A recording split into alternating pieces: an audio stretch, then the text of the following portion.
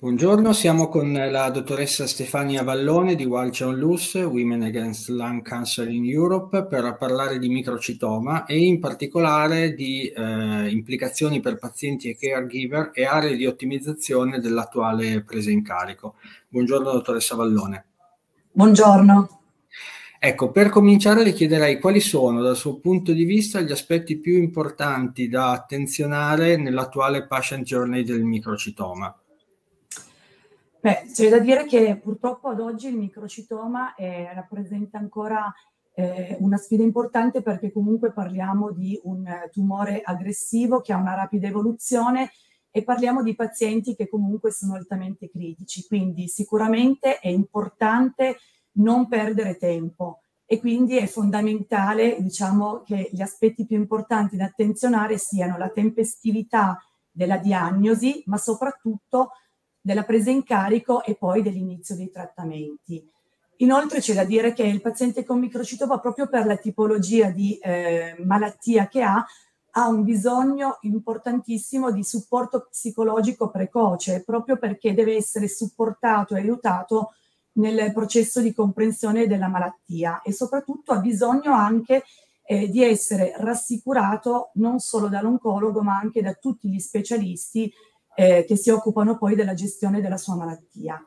E per terminare, forse direi che un altro aspetto importante da considerare è eh, la tipologia di questi pazienti. Spesso si tratta comunque eh, di persone eh, in età avanzata che presentano altre eh, patologie e che quindi già in fase iniziale, quindi già alla diagnosi, hanno dei sintomi che sono fortemente invalidanti, per i quali comunque eh, vengono richiesti infatti di poter avere dei miglioramenti.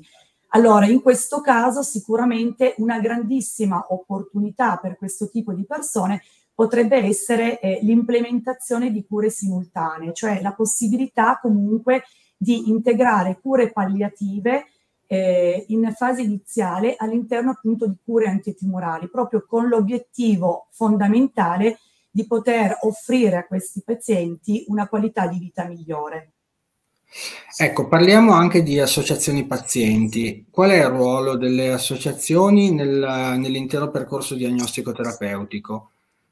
Beh, l'associazione di pazienti sicuramente ha un ruolo molto importante che è quello di cercare di essere un po' il punto di riferimento non solo per il paziente ma anche per la famiglia, proprio perché comunque eh, diciamo che nel momento della diagnosi eh, il, il, paziente sprofonda un po' in quel eh, momento di ignoto nel quale va alla ricerca di informazioni che lo possano aiutare a comprendere meglio eh, la situazione appunto eh, nella quale sta vivendo. Quindi sicuramente l'associazione in questo può essere di grandissimo supporto, ma è anche di grandissimo supporto nel cercare di essere un po' il collettore no? dei bisogni non solo del paziente ma dell'intera famiglia.